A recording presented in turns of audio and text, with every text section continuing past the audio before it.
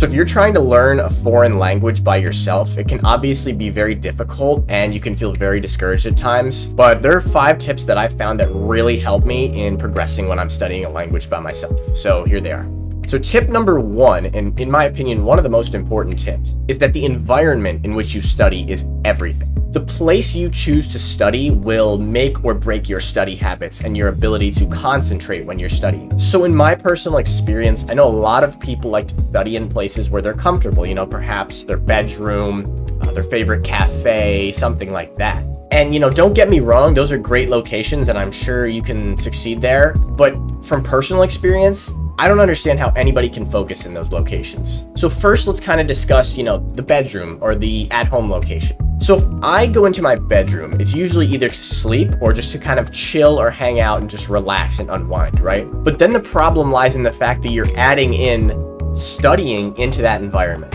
So the studying that you do, which requires deep concentration, thought, it's difficult, that will clash with that environment that you're in. So if you're in your bedroom, more often than not, you're going to want to resort to the state of just chilling, oh, everything's good. But that affects your studying.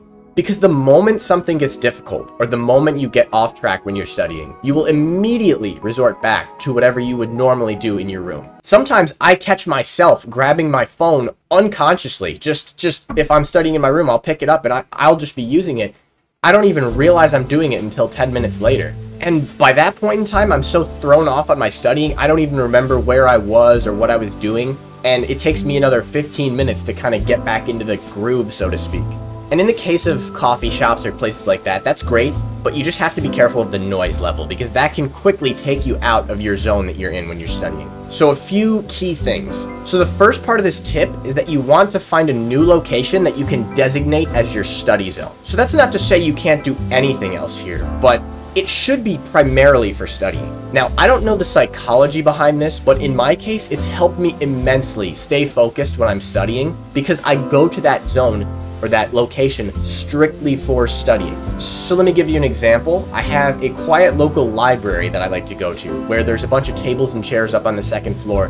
Barely anybody up there, you know, no noise and it's just there's no there's no distractions besides some shelves of books. It's a great location for me to study because it's boring. And I know you're saying, "Oh, boring. That's that's why would I want a boring location?" No, no, that's exactly what you want. Because you will accomplish so much more if you're in a location like that. Because all your attention will be focused on the studying. Now, if you want to see even more benefit, you can do something else, which is eliminate number 2, distractions. Yes, number two is eliminate distractions while you are studying. And I know this kind of ties in with the first one, but this kills people when they're studying. This ruins people's motivation and it completely ruins study sessions. Okay, so obvious distraction first. You're probably already thinking about it.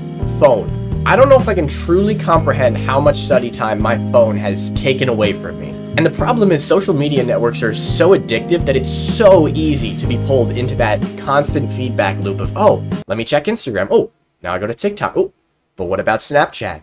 So my best tip in this case is to obviously mute the phone and leave it in a bag zipped up if possible, or just leave it slightly away from your person so it's not easy to access. And I totally get it if you have emergencies or you need to be able to be in constant contact with people, that's fine. But the less access you have to your phone while studying, the better. And to be honest, that's why I'm not really a big fan of just using apps to study. There are some great apps, but the problem is it's so easy to immediately swipe up from the app and just go back to what you were doing if you get even the slightest bit bored or you find something difficult. So we've eliminated the phone off the list. What else can we do? So like I said in the last tip, noise is a huge distraction when you're studying and it can quickly take you out of that studying mindset.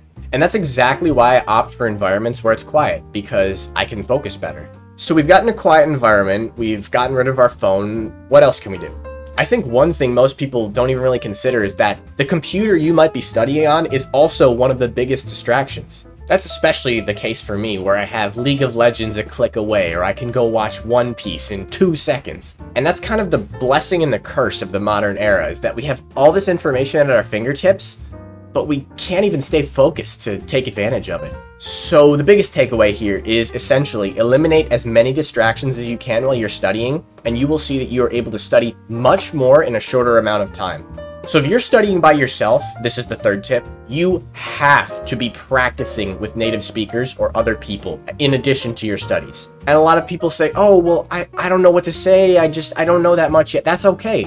You can practice the pronunciation. You can have the native speaker teach you a phrase or a word and practice that pronunciation. There's a lot you can do with it. But now you're probably thinking, okay, Ryan, Ryan, wait, hold on, hold on. How am I supposed to find a native speaker? Well, the good thing is there's actually a lot of ways to do this. So there's apps and there's games that I've used in the past that are incredible for this. So for example, when I first started studying Chinese, I was using PUBG to practice with Chinese native speakers while playing PUBG. And yes, I learned a lot of bad words and things of that sort, but it was actually super beneficial for me because I had to think on my feet. Think on my feet?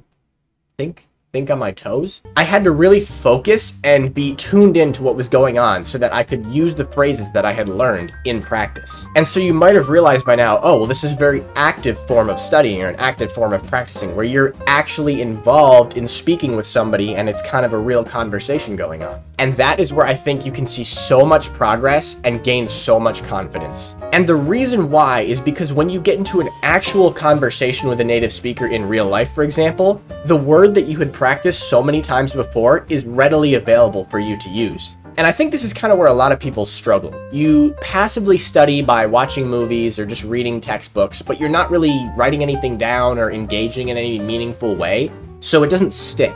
But when you force yourself out of your comfort zone and you find native speakers to talk to and become friends with them, it builds your confidence so much. So that way, when you actually meet people, like I said, it's so easy to speak with them. So few methods you could meet native speakers. Uh, there's a lot of great apps. I like to use HelloTalk. Obviously, there's games as well. VRChat is great for practicing with native speakers. There are dedicated language servers on VRChat, and you don't need VR for that.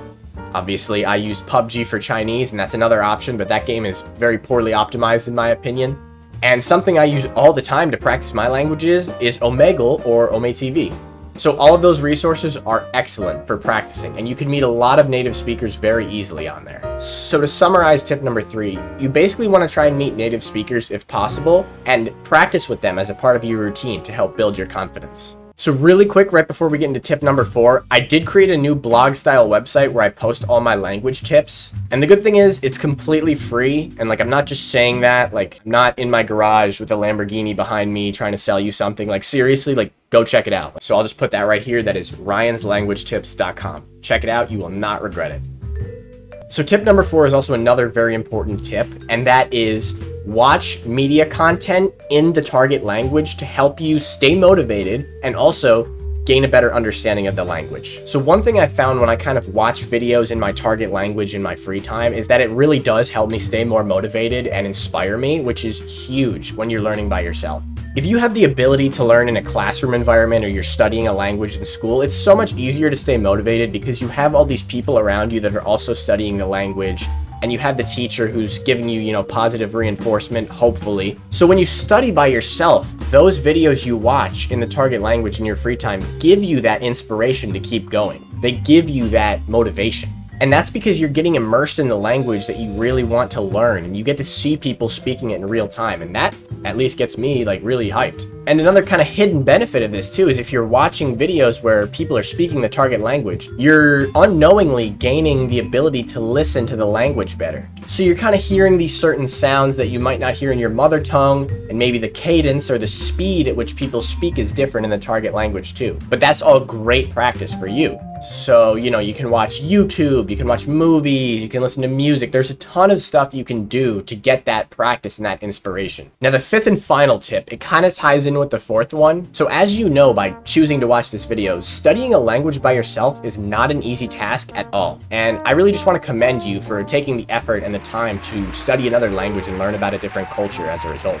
Now, everybody kind of has different reasons why they want to study a language, but the most important thing is to keep the end goal in mind, and that's tip number five. When you're studying a language, you have to keep the end goal in mind. What do you want to become by studying this language? What do you want to do with this language? I always thought it would be super awesome to be able to speak Mandarin, and as I studied, I constantly, in my head, envisioned me speaking fluently with people in Mandarin, and that gave me so much inspiration to keep going every day. So whatever language you're deciding to learn, always remember the reasons for why you're studying and envision in your own mind the end goal. So imagine yourself in a country where that language is spoken, talking with native speakers, laughing, having a great time, and just being so happy that you put the work in to learn that language, and now you can connect with all these different people across the world. So if you only know one word right now, that's fine. Just remember the end goal, and know that if you learn another word tomorrow, you'll be one step closer to achieving your goal of speaking that language. So I want to say thank you everybody so much for watching this video. Please comment below if these tips were helpful or if you want to see more videos kind of like this in the future. And with that, I will see you in the next video.